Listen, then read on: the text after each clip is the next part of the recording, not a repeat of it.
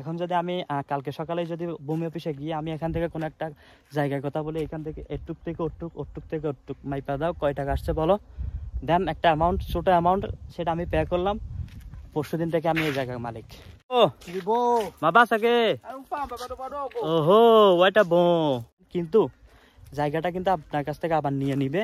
যদি আপনি তাতে Tem prazo de, de, de um ano para a banca. Se é casa de coisa de residência, tem prazo de dois anos. Aí, আসসালামু আলাইকুম viewers welcome back to new video of unseen Africa আফ্রিকার Mozambique থেকে বলছি আমি Saif the অ্যাপ্রিসিয়ান আজকে একটি interesting বিষয় আপনাদের সাথে শেয়ার করতে যাচ্ছি সেটি হলো আহ, এই দেশে চাইলে আমরা অর্থাৎ যে সমস্ত বাংলাদেশিরা বসবাস করি শুধু বাংলাদেশে নয় হোক সে ইন্ডিয়ান বা পাকিস্তান বা অন্য যে কোনো দেশের নাগরিক সে চাইলেই কিন্তু এই দেশে জমি কিনতে পারবে। অর্থাৎ মোজাম্বিকের নাগরিক হওয়াটা বাধ্যতামূলক নয়, এই দেশে জমি কেনার জন্য। যে কোনো দেশের নাগরিক তার ব্যক্তিগত বা ব্যবসায়িক বা যে কোনো পারপাসে সে চাইলে জমি কিনতে পারবে। বিষয়টা আমার কাছে অনেক ইন্টারেস্টিং মনে হয় এবং আমিও কিনছি অলরেডি প্রায় তিনশো বর্গ মিটার একটা জমি আমি কিনছি। বাংলাদেশি টাকা যেটার দাম পড়ছে একুশ হাজার টাকা মতো, একুশ হাজার সামথিং তো এখানে এই জায়গাটা অর্থাৎ প্রতি বর্গ মিটার জায়গার দাম পড়ছে। এখানে তেতাল্লিশ মেট্রিকাস বাংলাদেশি টাকায় সেটার দাম আসে সত্তর টাকা।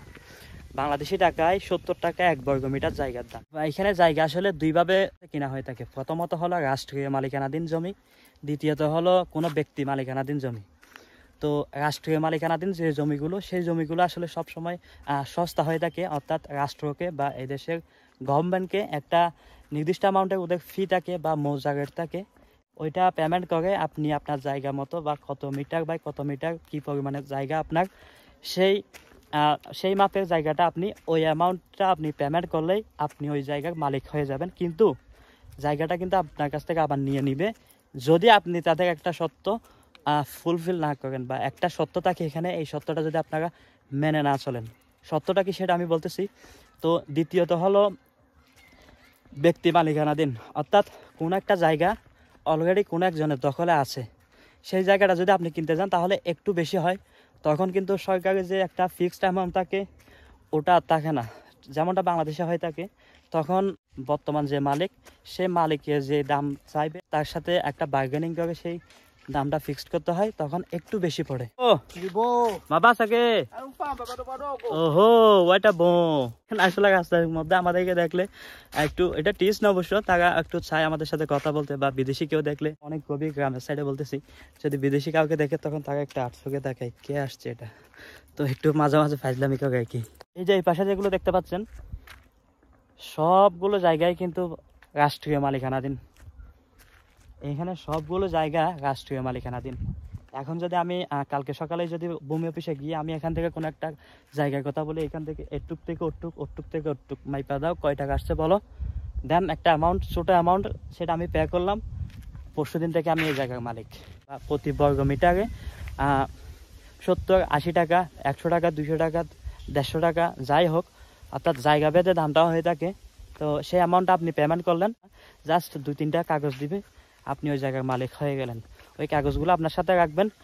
এখানে কেউ এসে আপনাকে ওই জায়গার দখলদারিত্ব বা দেখাইতে পারবে না বা ওই জায়গার মালিকানা দাবি করতে পারবে না। আরেকটা মজার সত্য এখানে তারা দিয়ে থাকে, এটা অবশ্যই বাধ্যতামূলক এই সত্যটা মেনটেন করাটা সেটা হলো, আপনি যদি ওখানে সেটা বিজনেস পারপাসে নিয়ে থাকেন বা কোনো ব্যবসায়িক কাজ করার জন্য আপনি ওই জমিটা কিনে থাকেন, তাহলে আপনাকে এক বছরের সময় দিবে।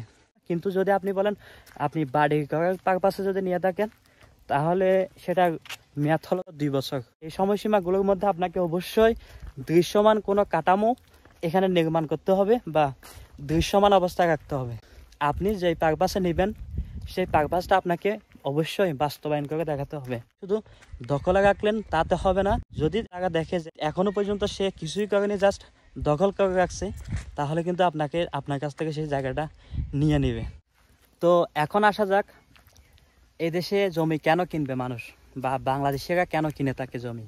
এখানে বাংলাদেশিরা বসবাস করে, ব্যবসায়িক কাজকর্ম করে থাকে বাংলাদেশিরা। তো নেক্সট ভিডিওতে ইনশাল্লাহ আমি ট্রাই করব বাংলাদেশিরা এখানে কী ধরনের কাজ করে থাকে আমি অবশ্যই নেক্সট ভিডিওতে ইনশাল্লাহ আলোচনা করব এই বিষয়ে। বসত বাড়ি করার জন্য বা তাদের ব্যবসায়িক কাজ। এই দুইটা উদ্দেশ্যে বাংলাদেশিরা মূলত এখানে জমি কিনে থাকে। তো খুব সহজেই জমি পাওয়া যায়।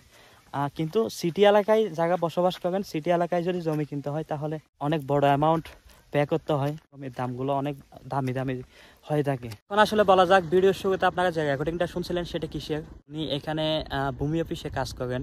তো আমি একটু আগে যে জমির কথাটা বললাম, যেটা আমি কিনছিলাম, তো আমার এখনও কোনো কাজই করা হয়নি ওখানে। মহিলা আমাকে ফোন দিয়ে বলল যে, তোকে তো নেওয়ার সময় বলছিলাম, ব্যবসায়িক উদ্দেশ্যে নিয়ে থাকলে এক বছর এবং যদি বসত বাড়ির জন্য তাহলে দুই বছর। এর মধ্যে তোকে কোনো দৃশ্যমান কোনো অবকাঠামো ওখানে তো নির্মাণ করতে হবে। অন্যথায় তো ওই জমিটা নিয়ে নিবে। তো আমাকে ফোন দিয়ে জাস্ট একটা রিমাইন্ডার দিল তো এই ছিল আজকের ভিডিও আর দেখা হবে ইনশাল্লাহ নেক্সট ভিডিওতে আমার চ্যানেলটি এখনও যারা সাবস্ক্রাইব করেননি আনসিন আফ্রিকা চ্যানেলটি সাবস্ক্রাইব করুন এবং ভিডিওটি লাইক করবেন। যদি ভালো লাগে থাকে তাহলে ফেসবুকে please share with your friends দেখা হবে নেক্সট ভিডিওতে ভালো থাকবেন ততক্ষণ পর্যন্ত দোয়া করবেন আমার জন্য, আমিও দোয়া করি আপনাদের জন্য। আসসালামু আলাইকুম।